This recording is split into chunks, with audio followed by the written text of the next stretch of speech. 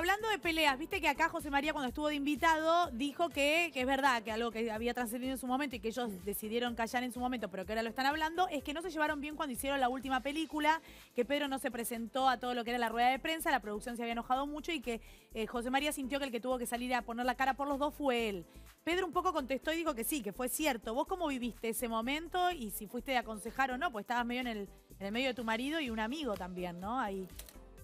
No me lo acordaba ese momento, posta.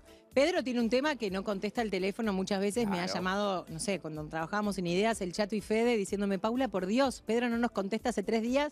Y yo lo tenía durmiendo al lado y decía, ¿qué onda este pibe? Que no conteste, me da calor. Yo que contesto todo, soy recorrecta.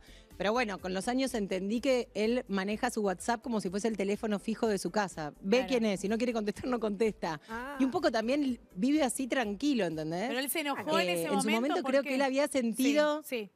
No, él había sentido que la, la segunda película creo que no estaba tan de acuerdo con algunas cosas de la película todo y como que se retrae. Él entra como en un estado en el que prefiere ir, cumplir y no involucrarse por demás.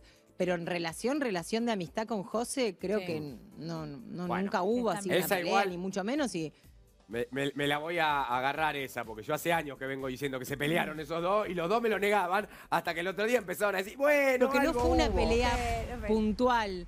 Son desgastes que puede suceder por, por, por trabajar mucho tiempo juntos, que si decís ahora te peleaste con Pedro en el verano, no es que me peleé, o sea, son desgastes por estar trabajando juntos que después pasan y pasan y quedaron. Y no es que fue una crisis o una pelea, no es que tuvieron una pelea enorme. El mismo, el mismo desgaste de trabajar mucho tiempo juntos, que algunas cosas no te, no te gusten. Y se Y, encaprichó. y Pepe tiene esto, que Claro. para mí es recontra valioso, de Sí. que no tiene ganas de contestar y no contesta. Y de verdad, digo, yo a veces debería aprender de eso para no tener que estar todo el tiempo eh, full time con el teléfono contestándole a todo el mundo.